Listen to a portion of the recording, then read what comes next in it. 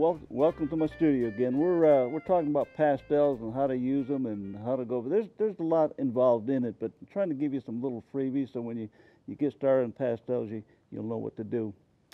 Uh, my name is Dick Ensing. I live in Great Smoky Mountains. I, we've got some beautiful scenery. This is one of the scenes out in the Great Smoky Mountains. We've got a video coming out pretty soon that we did in the park. And uh, anyhow, let's get started basically we've already taken this through a couple stages. We we started we, we did a uh, basically a value sketch, and we did kind of this what what we call a little tunnel. We're going to carry a little bit further. We're going to go reconstruct it.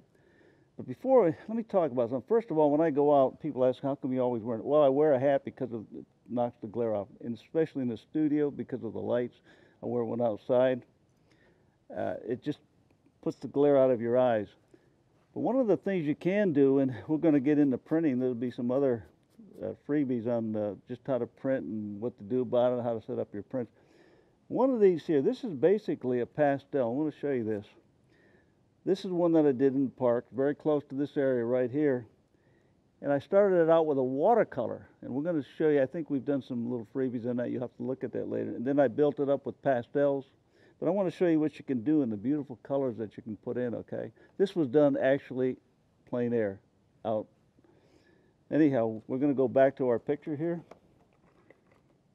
Let's set up a little bit more. Let's go back in and set up a little more sky color in here. Okay, we're going to kind of tone that color in a little bit. But here again, I don't do a lot of blending, okay, yet. And if you do, just hit it like this lightly it's better off to just take a, another color and go over it a little bit. You see? See how that sky color is in there? Okay. Let's get that expanded a little bit more. You want to have a good base so when you start your painting, that you, you've got a base to work with. See in the mountains how the bluish cast comes right down in here? Let's get that in there. Get right in here between these trees right over here. Okay. This is a beautiful scene. This barn is about ready to come down, but it's still there. You all visit the park. It's over towards Cades Cove in Townsend. You'll see it. Some beautiful scenery over there. Okay. Let's take, go expand this barn a little bit. Let's take a kind of a light gray and go on the outside here. and Just put a little bit of color right in here. See it? Look for look for shapes. Don't don't look for the detail. You let just look for shapes. Detail will come. The detail comes. Okay. It's got a little bit of a reddish cast down there. Let's just put that in just a little bit of red. Right through here in the barn's got that little bit of red right there. See it? A little more here. We'll put a little bit here. Darker. Now that gets a little darker right there. A little, put a little blue over that red. It kind of makes a purple color. Okay. That's where that shadow is. Okay. This is kind of a dark brown. Pick out a basically a brown color, brownish color. Okay. A little darker right in here. Oh, there's some nice color in this. Beautiful color. Okay. Look at the little shadow under here that this is cast. Put that right in here. Okay. Let's expand some of this, some of this green a little bit. Okay. Take the side of your chalk. Go in here like this and just kind of rub it in. Look for shapes. Look for just big shapes right now.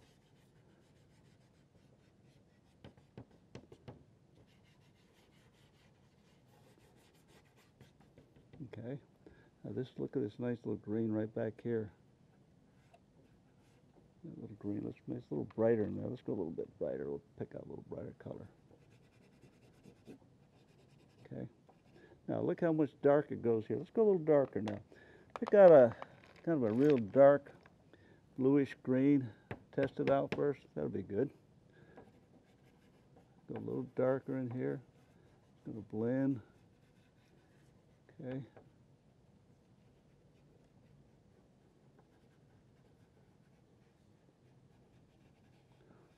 Remember, you can always go, when you first start your pastel or oil, go half as dark as you see it. Later on, you can go darker. It's like telling a joke. You don't tell a punchline before you set up the joke. I am a hor- horrible joke teller, so I won't tell you any jokes. Let's go a little warmer on the tops of those trees there. Kind of a greenish, yellowish. Then right here it gets a little darker. Let's go a little darker on the edge there. We'll get here into the painting, but you just got to make sure you have a good setup first. 'Cause if you don't, tops of those trees are kind of greenish cast over here, more green over there. Okay, let's go a little bit of more clouds in here. Bob Ross says happy little clouds. Well, I don't know if these are happy or not, but I like them.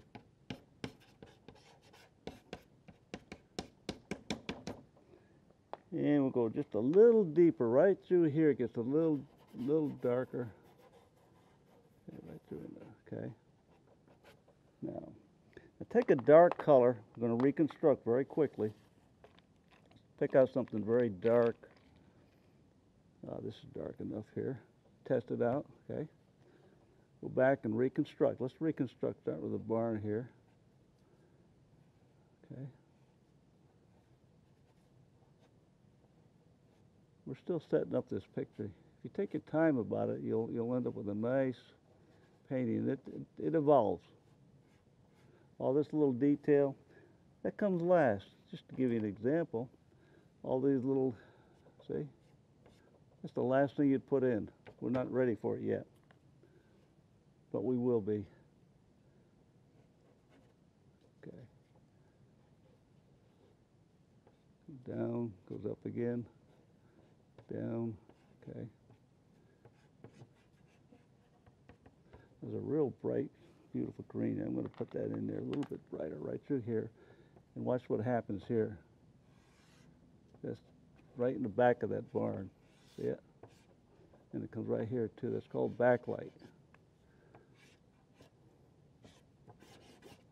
A little bit more up in here. Remember, you have to have foreground, a middle ground, and a background. Now we're ready to start painting. We're going to start into it a little bit, and we're going to continue it as we go on. Start out with your darks first, and this is called pastel painting. Take the color. Let's just take one out of here. Let's pick a pick your color. Now remember, when you pick the color out of here, once you take it out, don't put it back in. Put it here. This is your palette right here. This is the way you you paint. You paint a passage of starting with your darks first. Remember, I can always go darker. Don't go as dark as you see it right in the beginning.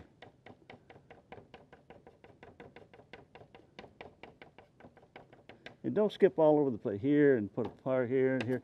No, work a passage of dark, a passage of middle, a passage of light, and you'll get into it. Go a little bit more into the darks over here. See, that can still go darker.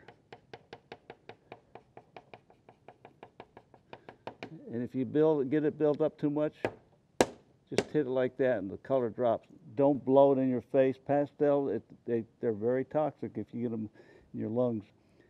Matter of fact, uh, Krylon has a great spray for, for pastels. It's called Fine Art Spray.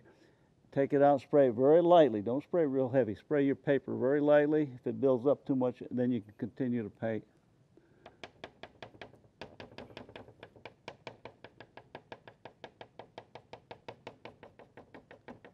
And these little free lessons just give you an idea. You're not going to finish a painting right now, but we're going to work this in a progression of different steps as we're going, okay? And go into the middle values. Go into, well, here's a little color. We'll go in a little bit, a little bit lighter here. Let's go a little bit, okay?